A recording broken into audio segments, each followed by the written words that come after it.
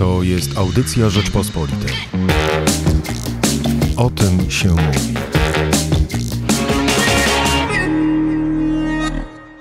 Ja nazywam się Michał Płociński, a dzisiaj gościem mojego podcastu jest Jan Ołdakowski, dyrektor Muzeum Powstania Warszawskiego. Dzień dobry. Dzień dobry, panie redaktorze. Panie dyrektorze, podoba się panu nowe słowo e, wykreowane na portalu społecznościowym Twitter muzeowanie? Ja jakby rozumiem potrzebę tworzenia neologizmów. Jestem polonist, filologiem polskim z wykształcenia, więc e, z jednej strony to dobrze, że ludzie próbują nowe rzeczy nazywać i ale oczywiście niektóre kalki z mm, języka angielskiego, mm, przynajmniej na początku, jak się pojawią, dość mnie przerażają. No ale rozumiem o co chodzi w tym słowie. No ale tu nie chodzi, tu nie chodzi o kalkę, tu chodzi o nawiązanie do poprzedniej wielkiej mody w mediach społecznościowych, czyli do morsowania. Morsowania, tak. Myśmy Więc muzeowanie, hmm, chyba jeszcze wcześniej było przez chwilę biegówkowanie, później było tak, a teraz jest muzeowanie. Y, no, jestem zdumiony tymi kolejkami przed Muzeum Narodowym. Zazdroszczę Muzeum Narodowemu bardzo i mm, ekscytuję się naszym otwarciem w poniedziałek. 8 lutego. No właśnie, jak to jest, y, że dopiero 8 lutego Muzeum Powstania Warszawskiego się otwiera?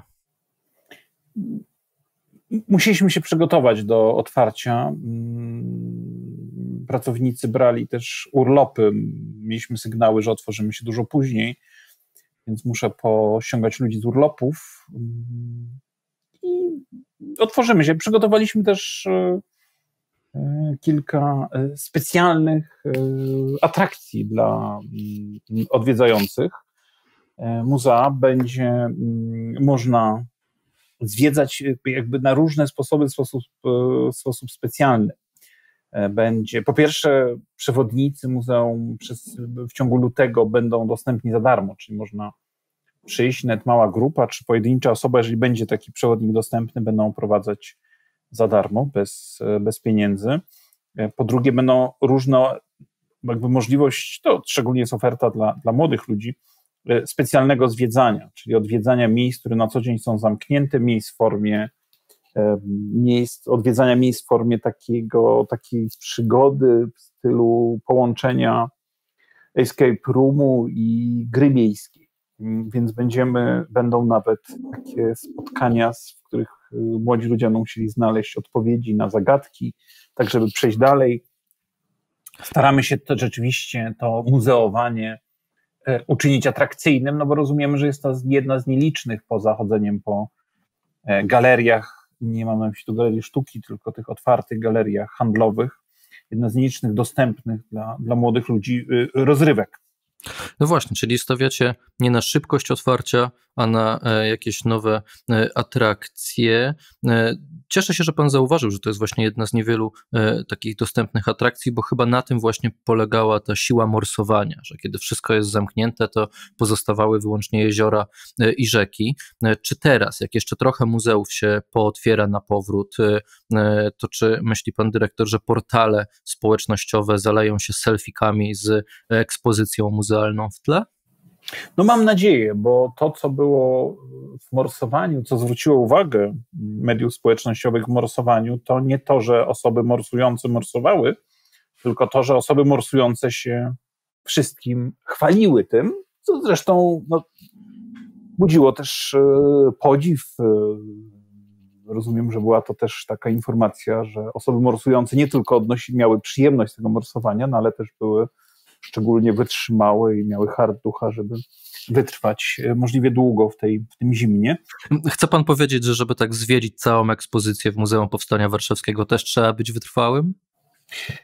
No, no, trochę tak, bo, bo, bo, oczywiście ekspozycje muzealne, które mówią do widza, starają się odwoływać do jego emocji, do e, wciągnąć ją w jakąś opowieść, oczywiście, żeby wytrzymać tą historię dwugodzinną bez e, stałego zerkania w swoje, swoje smartfony, to na pewno jest to wy, wy, wyzwanie dla młodych ludzi, którzy są przyzwyczajeni do takiego wielobodźcowego funkcjonowania, a tu w muzeum, e, to muzeum zapewnia to wielobodźcowanie. Muzea były czymś takim jak smartfony w czasie, kiedy smartfonów jeszcze nie było. To znaczy, myśmy wymyślali nasze muzeum w czasach, kiedy nie było ekranów dotykowych i nikt nie skrolował dzisiaj.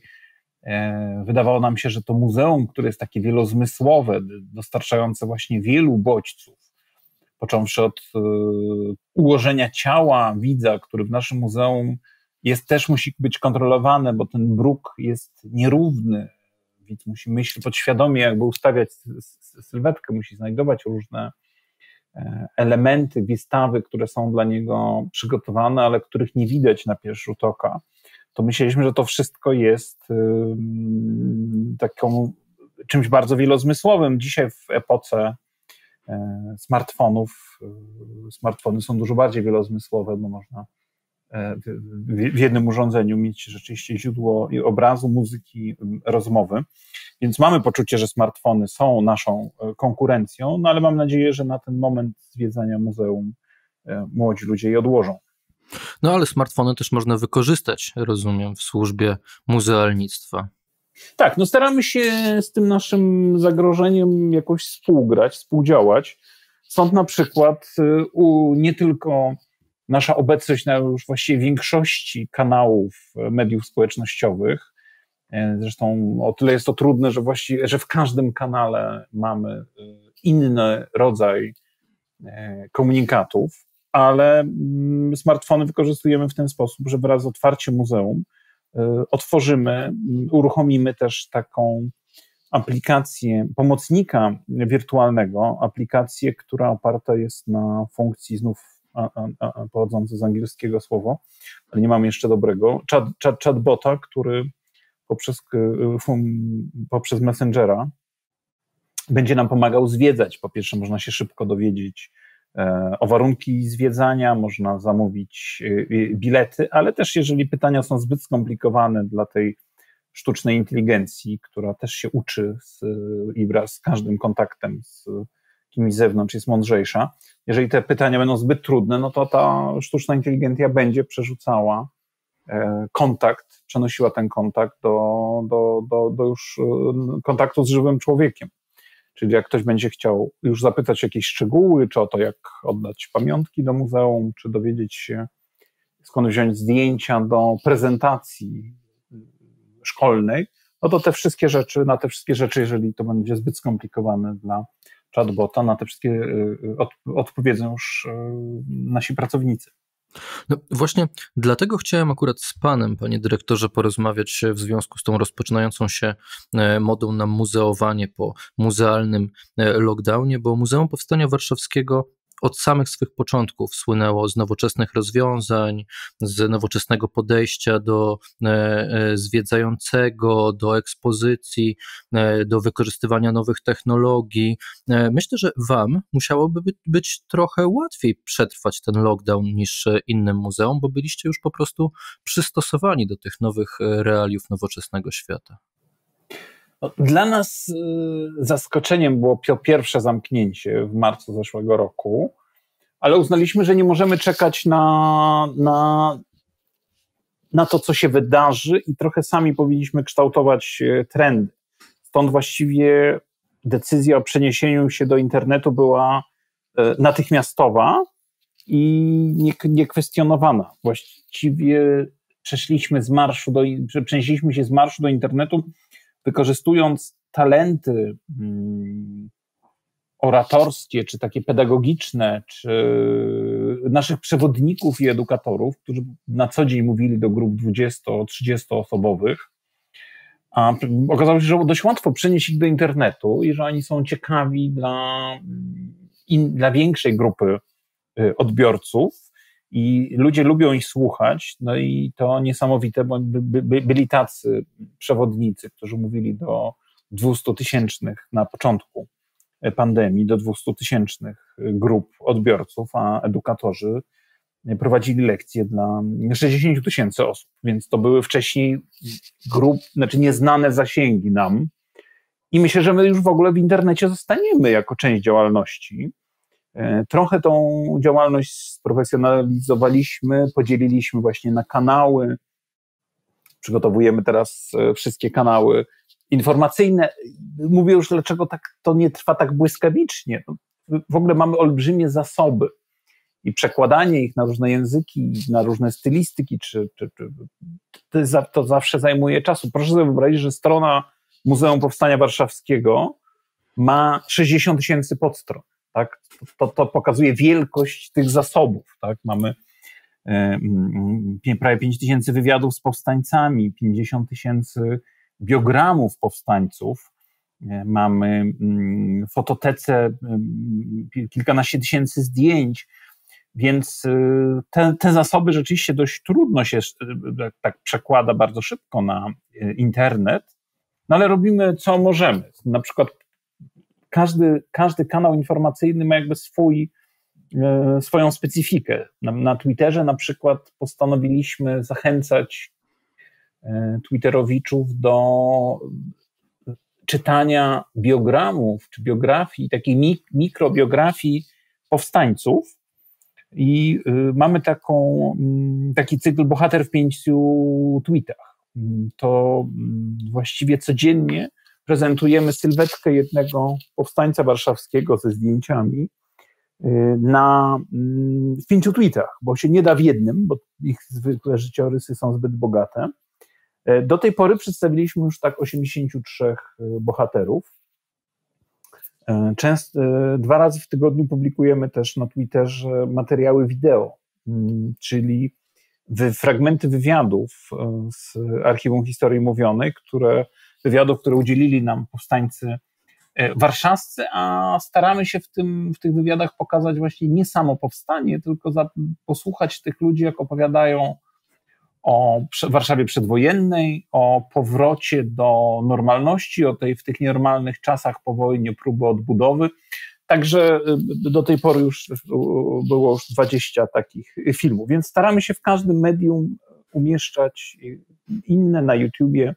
Mamy wykłady naszych przewodników, na naszym kanale na Facebooku też są e, nie tylko e, wykłady e, przewodników i wyjścia w, w miasto, bo w tej chwili już robimy takie spacery, wiedząc, że aura nie pomaga wyjść z domu, to zachęcamy ludzi do uczestniczenia w takim wirtualnym zwiedzaniu jakichś ważnych miejsc związanych z historią II wojny światowej w Warszawie i powstaniem. Ale też mamy dużo e, spotkań dla różnych grup wiekowych i dla różnych zainteresowań. Mamy wykłady architektoniczne o Warszawie historycznej i współczesnej, mamy zajęcia dla dzieci, będziemy zresztą ich mieli więcej. Także Panie dyrektorze, każdego coś miłego mam nadzieję. Tak, to nie jest nasza pierwsza rozmowa, ja wiem, że Pan mógłby godzinami opowiadać, więc muszę wejść w słowo. E, jak tak słyszę, jak Pan z dumą opowiada o tym, e, jak e, MPW wykorzystuje nowe technologie, jakie są obecne w internecie, to może Wy wcale nie musicie się na powrót otwierać, może wystarczy zostać w internecie. Ale my, na pewno w internecie zostaniemy, ale my tęsknimy za prawdziwym widzem, bo prawdziwy widz to prawdziwe muzealnictwo. Wirtualne zwiedzanie jest jak gotowanie online. E, fajnie, że się to wszystko widzi, ale najfajniej jak tego można, tak, znaczy tak jak jedzenie, gotowanie jest na żywo dużo lepsze niż wirtualne, tak zwiedzanie muzeum jest zawsze dużo lepsze na żywo niż e, wirtualne. Tęsknimy za widzem, mamy nadzieję, że, że widzowie do nas wrócą, że, że czekają na tą wizytę Mamy nadzieję, że, że chcą zobaczyć eksponaty, bo sensem, taką esencją muzealnictwa jest jednak kontakt z eksponatem, z, ze świadkiem historii. To, to buduje, nawet jeżeli on mówi z ekranu, to w warunkach muzealnych to jest tak zaaranżowane, że ta opowieść, że ten fragment relacji świadka historii, że oglądanie, oczywiście, że przez szybę, ale oglądanie eksponatu fragmentu e, historii e, autentycznego, nie przez żaden nośnik, dużo bardziej działa i na wyobraźni, i na zmysły, i też zachęca do poszerzania swojej wiedzy niż, niż najlepszy wykład zdalny, choć jak mówię, te, te też są potrzebne. No i jeszcze można dodać, że oczywiście wyjście z domu, cała ta wycieczka do muzeum, prawda, przejazd tramwajem, cokolwiek, no od razu nas inaczej nastraja niż po prostu kliknięcie na coś e, w internecie między jedną a drugą aktywnością. Na koniec jeszcze, panie dyrektorze, chciałbym poruszyć temat taki trochę szerszy stosunku Polaków do, do muzeów, e, bo ja w ostatnich latach szczególnie dużo jeździłem po Polsce i to też rowerem, więc to zawsze łatwiej się gdzieś zatrzymać. Starałem się właśnie sprawdzać wszelkie takie atrakcje muzealne w okolicy, nie wiem, czy na Podlasiu, czy na Pomorzu, gdzie, gdzie akurat uprawiałem to moje rowerowe krajoznawstwo. I powiem szczerze, nie zauważyłem, żeby jakoś tak z roku na rok było coraz więcej Polaków w muzeach, czy w jakichś małych miejscach pamięci. Czy ten stosunek nasz do muzeów się zmienia? Jest coraz bardziej pozytywny, czy jednak to trochę stanęło w miejscu w ostatnich latach? Polskie muzealnictwo, jeśli chodzi o liczby, ciągle przeżywa boom. E, w ciągu 10 lat od pojawienia się Muzeum Powstania Warszawskiego, to oczywiście nie jest tylko ten fenomen. Nie chciałbym tutaj udawać, że to tylko nasze pojawienie się, ale na pewno byliśmy tego współczęścią, wejście do Unii Europejskiej. Od 2014 roku, w 2014 roku było 15 milionów ludzi w muzeach, a 10 lat później już 30 milionów. Także ilość odwiedzin rośnie. Do tego zmieniły się muzea, podejście do widza. Odesz, od, muzealnicy na szczęście odeszli od takiego przekonania, że to na widzu spoczywa ciężar frajdy z, z, z wizyty w muzeum i widz musi mieć odpowiednią kompetencję, żeby to zrozumieć. E, muzealnicy zaczęli też obudowywać swoje działania e, działaniami komunikacyjnymi, e, lepiej przybliżać, tłumaczyć, właśnie po, po, przygotowywać wystawy dla osób jednak z niewielką kompetencją, ale wystawy, które mają ich jakoś u, u, uczulić na jakieś ważne tematy, że mają ich, mają ich, mają ich spowodować u nich jakieś, y, jakieś y, przeżycie. Zainteresować. Zainteresować, tak, jakby skłonić do, do, do, do zdobywania jakiejś wiedzy. Więc jest y, wyraźny postęp, jeśli chodzi oczywiście globalnie.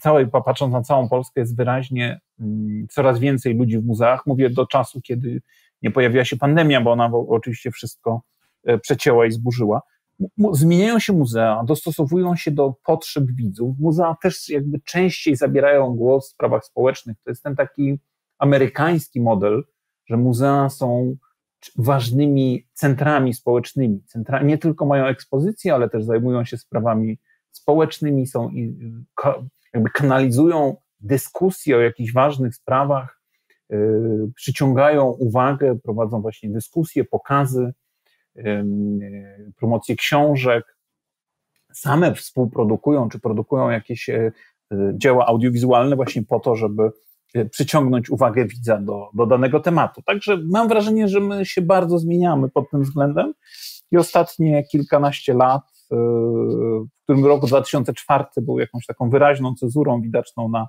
na statystykach, rozpoczął zmianę. No to chyba nie pozostaje nam nic innego, jak tylko życzyć naszym słuchaczom udanego muzeowania. Udanego muzeowania w takim razie. Moim gościem był Jan Ołdakowski, dyrektor Muzeum Powstania Warszawskiego. Dziękuję. Dziękuję bardzo. Słuchaj więcej na stronie podcasty.rp.pl. Szukaj Rzeczpospolita Audycje w serwisach streamingowych.